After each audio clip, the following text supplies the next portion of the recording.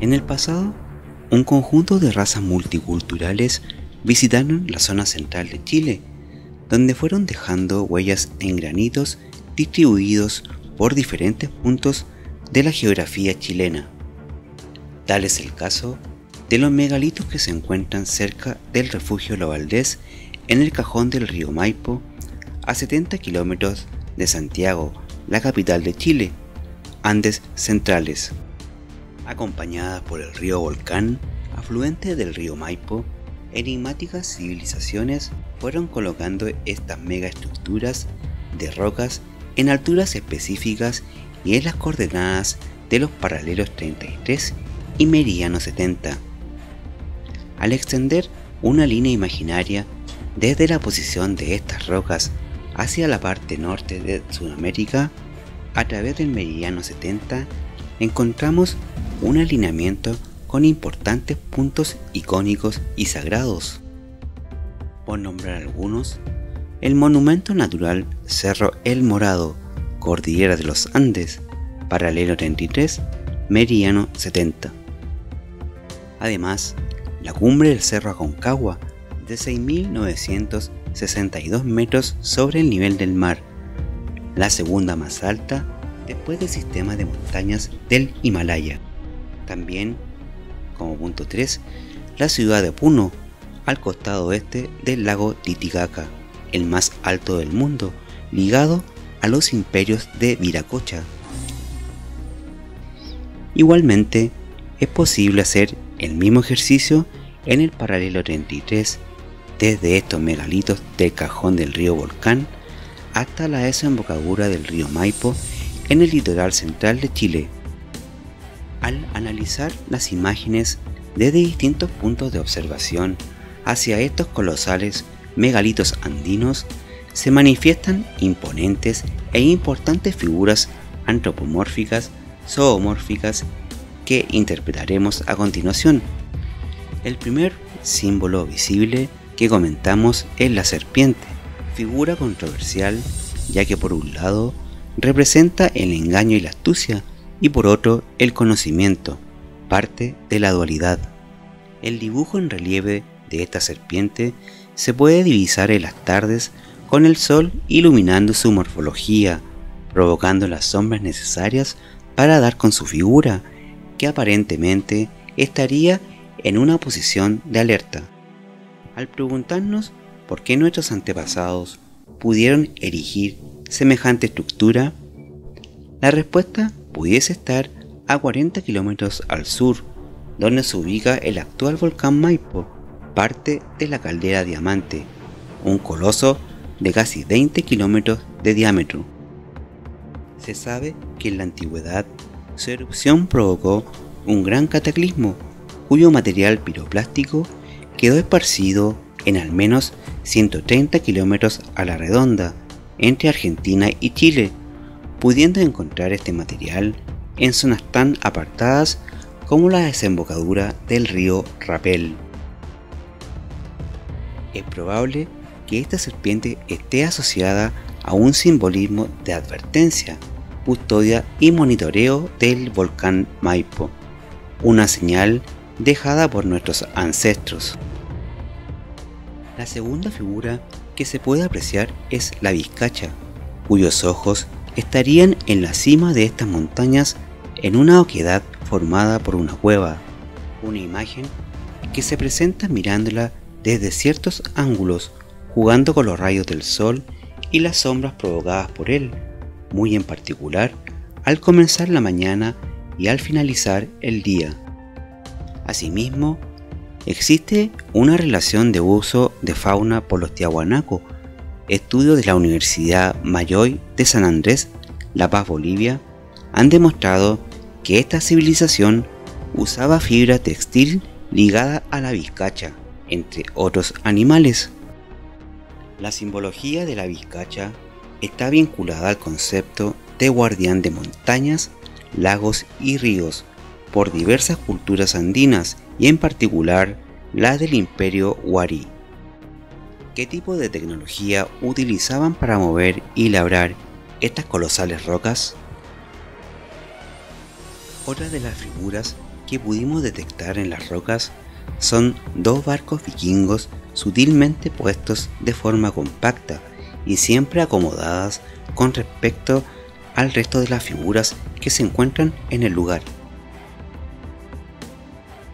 El escritor Oscar Fong fue un defensor sobre la presencia vikinga en la zona central de Chile. En general, existen muchas leyendas sobre barcos sumergidos en los océanos chilenos. Una historia muy singular señala que en el año 1960 y posterior al tsunami de Valdivia, lugareños dieron vista a una embarcación con características vikingas. Sin embargo, esto fue requisado rápidamente por las autoridades y borrado para siempre, quedando solo una leyenda urbana. La influencia de sus barcos no ha podido ser suprimida. Civilizaciones de casi todo el mundo incorporaron su forma aerodinámica en sus embarcaciones. En nuestro canal habíamos comentado sobre una estructura que se encuentra en el Cerro Pucará de Chena, similar al barco vikingo que hemos detectado en estos megalitos andinos. ¿Existirán más estructuras de este tipo en Chile o en Sudamérica? Los símbolos asociados a figuras de pez o a la cola de un pez es o son características muy cercanas a culturas de Mesopotamia. El dios Oannes o Wanna, con forma mitad humano y mitad pez, sería parte de los siete sabios enviados por Enki. Egipcios también tributaban a figuras marinas asociadas a la cola de un pez. Si bien es cierto, no sabemos con exactitud qué pueblo procedente de Mesopotamia estuvo en la cordillera de los Andes. Árabes ancestrales dejaron su influencia rindiendo culto a dioses sumerios en la geografía chilena. Otra de las figuras que pudimos encontrar en esta estructura es un dibujo con un rostro polinesio al costado del barco vikingo. Uno de los pueblos del cual tenemos certeza de su visita por las tierras chilenas en la antigüedad procedían de la Polinesia, los llamados maoríes. Aunque nosotros creemos que ellos formaban parte del imperio solar de Mu, el continente perdido del Océano Pacífico. Polinesios dejaron sus vestigios en los cerros de los valles centrales chilenos, dejando vistas de polinesios en los relieves de perfil de muchos cerros y colinas de las tierras del lodo. Las siguientes figuras que se pueden apreciar son dos aves que se pueden distinguir en los megalitos del cajón del río Volcán.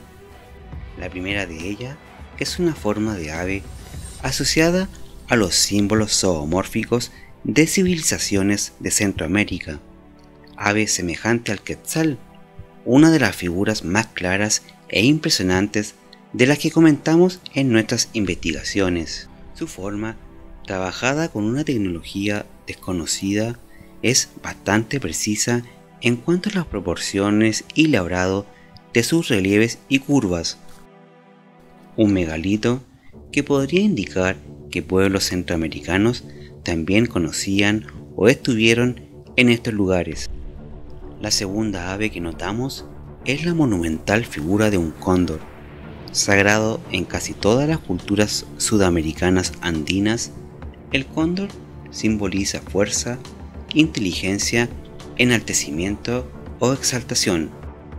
No solo traía buenos y malos presagios, sino que también era el responsable de que el sol saliera en cada mañana, pues con su energía era capaz de tomar el astro y elevarlo sobre las montañas, iniciando el ciclo vital.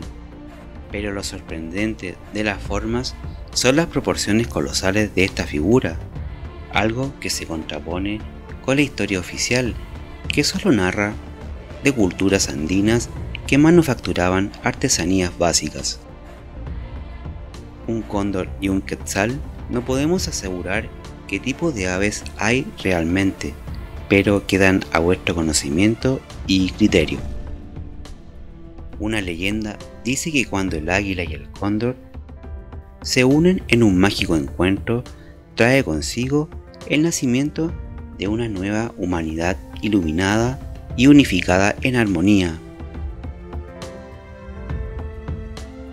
Una de las formas más significativas que asoma al girar la imagen en 90 grados es la titánica figura o silueta de un ser sumerio, una divinidad alada y con barba. Es posible que civilizaciones sudamericanas antiguas conociesen o referenciaban a los dioses sumerios en enormes estructuras como las que mostramos en imágenes. Multiculturas navegantes visitaron en el pasado el país de las tierras del lodo, quizás como parte del imperio solar de Mu, una realidad que supera con creces a la ciencia ficción, gigantes que dejaron colosales estructuras en la cordillera de los Andes, un libro abierto dejado en la geografía que cuestiona toda la historia oficial contada.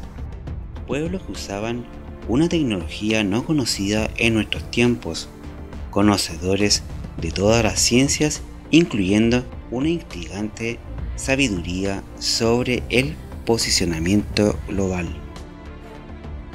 En tiempos donde abunda la mentira sofisticada, la codicia y el engaño, la verdad asoma imponente delante de nuestros ojos y sin llamarla, y nos coloca en un espejo para indicarnos nuestra verdadera esencia lumínica, aquella que va dentro de ti. Bien, soy Pablo Tapia desde Pirámide Oculta 11 y nos veremos en siguientes investigaciones.